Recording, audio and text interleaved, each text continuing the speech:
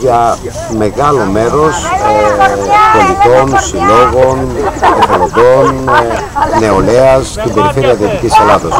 Σήμερα εξελίσσονται πάνω από 100 δράσεις τοπικών παρεμβάσεων κυρίως για να προστατεύσουμε το περιβάλλον αλλά να στείλουμε και ένα μήνυμα. Ένα μήνυμα ότι εμείς αν πραγματικά καταλάβουμε τη δύναμή μας, αν θελήσουμε, αν δώσουμε το χέρι στο διπλανό μας, αν συνεργαστούμε, μπορούμε πραγματικά να βελτιώσουμε την ποιότητα ζωής μας, να επαναφέρουμε αξίες που έχουν διαχρονική σημασία, η βοήθεια, η αλληλοβοήθεια, η συνεργασία, η συνεργατικότητα, η ενότητα, μπορούν πραγματικά ε, να μας οδηγήσουν σε μια νέα αρχή μια νέα αρχή που πάνω σε αυτές τις αξίες θα δρομολογήσουμε τις νέες αρχές της χώρας μας.